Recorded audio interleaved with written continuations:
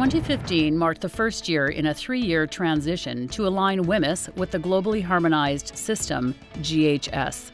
Canada's version of this is WHMIS 2015. GHS will create a safer, more consistent system of classifying and labeling hazardous products worldwide. Good morning. Morning. Ready for a toolbox meeting today?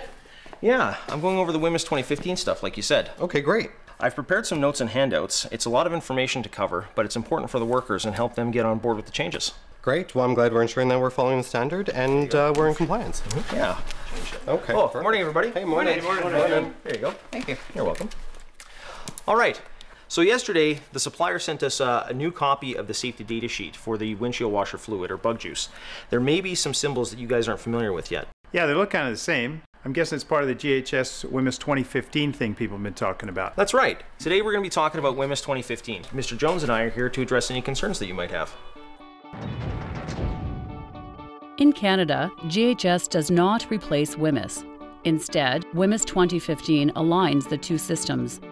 This includes new classification rules and hazard classes, new hazard pictograms, new supplier labels, and a new format for the safety data sheet, also known as SDS.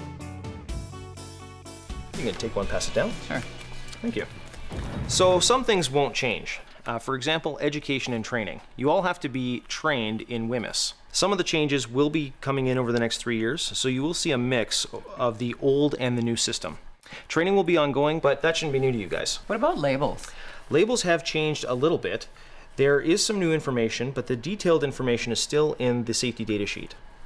Uh, if you have any questions, you can always ask me or another supervisor. Okay, so this sheet breaks down the old and new hazard classes. And then there are new symbols and more information in the SDS. Right. I'm a little confused. okay. So WHMIS 1988 hazard classes and symbols have been modified slightly. WHMIS 2015 hazard classes are now descriptive, while the hazard symbols are now called pictograms. And the Material Safety Data Sheet, MSDS, is simply called a Safety Data Sheet or SDS. So there are three hazard groups physical, health, and environmental, and they contain all the hazard classes? Right. And then the categories tell you how severe the hazard is, one being the most severe. So let's take a look at some examples. Here we have flammable. If you look at gases under pressure, you can see that this falls into the physical hazard class. The pictogram, which is a gas cylinder, looks the same, but now has a red diamond-shaped border. It only falls into the one class. The corrosion pictogram is used for three classes, corrosive to metals, skin corrosion, and serious eye damage, and is only used for Category 1 corrosives. And the new pictogram for health hazard could represent a variety of classes and categories, including a new hazard class for specific target organ toxicity, single exposure. Okay, so the bug juice is coming in and it's the perfect example of a new label. So let's take a look at it. Looks like the label has the same information as it had before. Pretty much. This here is the signal word. Danger means really high hazard. This here is the hazard statement. It tells you pretty much, well, the hazard. This here are the precautionary statements. They give you the preventative measures, like how to protect yourself when storing or handling the product. Are there any differences? A couple. For example, there's no longer risk phrases on the supplier label. Also, there's no longer a reference to the safety data sheet. This one has a skull and crossbones and a flame. That means Gary shouldn't drink it, right? Or use it near a fire. Yep. Actually, if you read the precautionary statement, it does say, do not eat, drink, or smoke when using. If you look at the SDS, it will give you the more detailed information just in case Gary does drink it, or more likely spills it. And how you should store it, which is the information we need when we unpack it.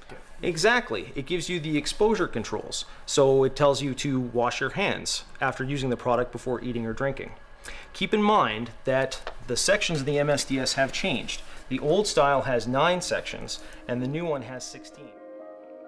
Information on the ingredients was previously included in Section 2, entitled Hazardous Ingredients. This is now found in Section 3 of the new SDS, entitled Composition and Information on Ingredients. First aid information can now be found in Section 4 of the new SDS, where it was previously found in Section 8 of an MSDS. Section 7 on the MSDS sheet used to include the following topics PPE, storage and handling, and disposal and spills. These topics now have their own sections or are part of other sections. Spill information is now found under Section 6, Accidental Release Measures. Handling and storage is now found under Section 7 on the new SDS. PPE is now found under Section 8, Exposure Controls and Personal Protection. Disposal is now found under Section 13, Disposal Considerations. New sections include Section 12, Ecological Information, Section 14, Transport Information, Section 15, Regulatory Information. And Section 16 was introduced and contains all information on preparation and revision of the SDS. These changes have made the information easier to find and to understand for all stakeholders.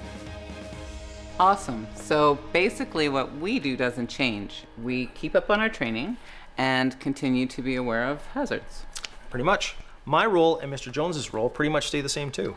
Yeah, we're committed to provide you guys with ongoing training, and uh, you know, during our toolbox talks, we'll provide you with information as new products come in. Sounds good. I'll go make sure that there's enough room in the back to store the new product. We just have to make sure the labels are on the product correctly and the SDSs are available. Yes, during this three year transition period, you may find both 1988 and 2015 labels and SDSs, but we will be replacing the old ones with the new as they come in. Are there any questions? Great. Well, thanks so much, guys, for coming in. Have a good day and be safe. Thanks, everybody. More information on WHMIS 2015 can be found online. Visit ACSA's website for more information on these changes and courses.